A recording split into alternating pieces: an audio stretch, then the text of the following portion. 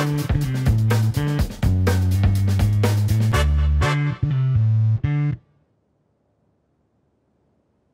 back. Last time we talked about fat loss strategies, glycemic control, movement, and nutrition. And today we get to talk about something that ties it all together the gut brain axis. How exciting is this? Yes. This is going to be a good one. We are excited. Yeah, this is going to be a good one. This Cover is a this couple is your really cool wheelhouse. Yeah. topics. So.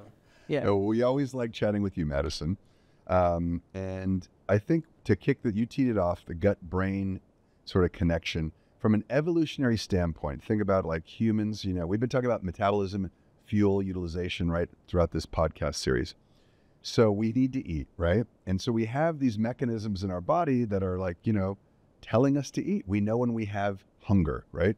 So you have appetite. We go around, we maybe thousands of years ago, our ancestors would forage for food and then we would eat some food and then we would be satiated. We'd like, no, we ate enough food and we can rest and maybe go out hunting and foraging again. So these are all very an intricate set of mechanisms that the human body has evolved over thousands of millions of years, really. So these mechanisms haven't changed, but our, our modern day food supply has changed. So I think the first thing to understand is in our gut, when we eat food, goes down a long tube. It's well over 25, 26 feet. And as it's moving, as the food's moving there, it communicates. may sound kind of weird, but it's act, there's a communication that's happening with the food and the lining of the gut. And that's why we call it the brain gut connection, because your gut then can talk to other areas such as your brain and say, hey, I'm full, stop eating. Or, hey, I'm still hungry, or send some more. So if we, we kind of kick it off with that, just understanding that there is a connection. We think of the, the gut as the second brain, that's what it's being called. And I think we would move into how this affects metabolism. But John, I'm going to start with that. What do you want to add in on that? Well, I love the way you kind of set up this like communication, and it's like, how do we know to stop eating, right? So, I think intuitively you're like, oh, I feel full. There's a there's a physical mass of stuff in the stomach or something. So, there's certainly like some physical senses of fullness, but there's also chemical senses of fullness. So, over time, the body's devised ways to tell the brain, like you said, that I'm full. Like, if we didn't have a means to shut off food, we would just eat indefinitely. I know I would. Yeah, right? we sure. just eat and eat and eat. Like, what, what's the off mechanism? But So the body's come up with like basically a communication plan, which is really what the endocrine and hormone system is. It's a series of chemical messengers that basically tell the body to do certain things. And so some of these hormones, there's there's leptin, there's ghrelin, there's DPP4, and then there's GLP-1. And so all these things, all these hormones like are a carefully orchestrated system to like carefully tune up, tune down and tell the body to do different things. So the one that's gotten all the attention lately is is the GLP-1 for let's- sure. Let's talk more about that. Let's talk more about the GLP one because a mm-hmm. lot of people have questions about that. So just we'd love to hear more about it. So yeah, well, John kind of kicked it. Maybe I can tee it up and then you can, our, our resident biochemist can talk some more. But from a physiologic standpoint, as the food's traveling down your digestive tract, it, like we said, it kind of communicates with the digestive tract. And that's the beauty of like, you know, this, this relationship that, that we're describing. But there's cells that line the, the, uh, the gut, and we call them these, these L cells that are very important in terms of uh, on the, the most like the most interior like layer of your digestive tract.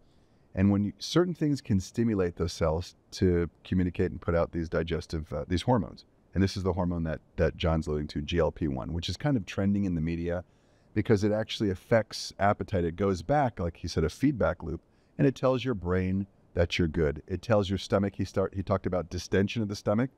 That happens when you if I have a bunch of plant foods and or you know food, it'll just kind of fill up my stomach, and that distension will tell my brain, hey, you're good. But the hormone GLP-1 will also tell my stomach it'll slow down the gastric emptying, which can be a good thing because you don't need to keep piling food in your mouth, right? Um, and it also another important thing, it sort of controls sugar levels. It tells the insulin, hey, make sure you're you're have that key ready to unlock the door to get the sugar out of the bloodstream and make sure we lower blood sugar and insulin levels. So it's got these interesting mechanisms. And I would start there, John. I don't know if you want to add on in terms of like what else it, it does from a metabolic function, like from the metabolic level. Well, I think that it's super interesting. Like you've just got all these fine-tuned controls and it's the very act of eating food in a lot of ways that like tell these hormones to be released, right? So when you consume protein, that's like a signal to like release GLP 1, and that's going to create that feedback loop of fullness, right? So that's one of the reasons why protein has a satiating effect. And then the other thing, you touched on an important point is these L cells, and so the so the the intestines that's where that's where GLP one is actually made. So if you have healthy intestines and healthy L cells, hopefully you have a, a reasonably good mechanism to produce GLP one What we talked about previously was the metaflammation, all these cytokines. If these are constantly damaging the intestinal health and your microbiome, and if you're eating a lot of high sugar foods, that's also disrupting the microbiome in that you're basically populating the bad bacteria and you're getting an overgrowth of the of the bad bacteria and an undergrowth of the good bacteria. That's like your intestinal health.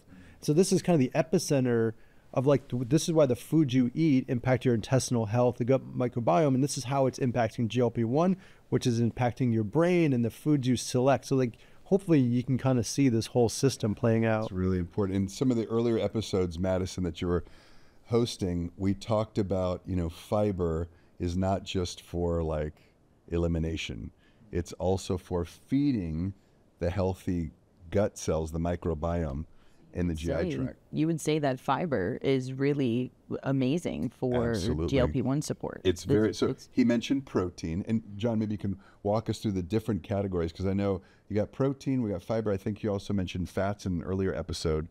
But um, what about like things in plants, these plant chemicals, botanicals, and uh, polyphenols and yeah. phytonutrients?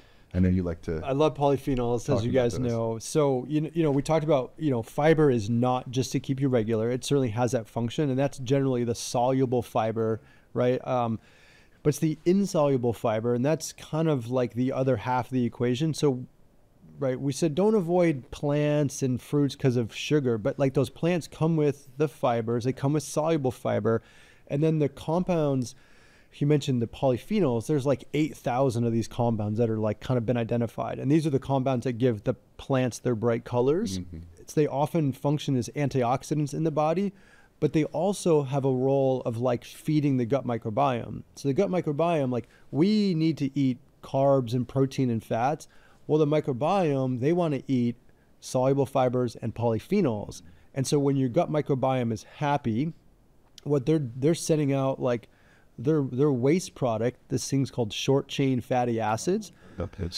That waste product is actually like healthy for the L cells in the intestine. When you have healthy L cells, we're back to making like normal protein levels. So I mean, this is a really beautiful feedback loop of like why you need to eat plants, importance of plants, how it makes your microbiome, right? So it's, it's really a nice system. I often think about what John just described as like think of the garden in your backyard and you know, when you're tending to the garden, you want certain flowers and plants to grow. Let's say you're growing tomatoes or whatever your favorite plant is, and then you want to keep the weeds at bay. You want to, you know, you know, prune and pluck the weeds out. It's really this delicate dance that the gut is doing when you're having the good stuff and you're making sure that it and it naturally will kind of eliminate some of those things that you don't want to grow. So it's really kind of tending to the garden, and that's what our gut naturally does.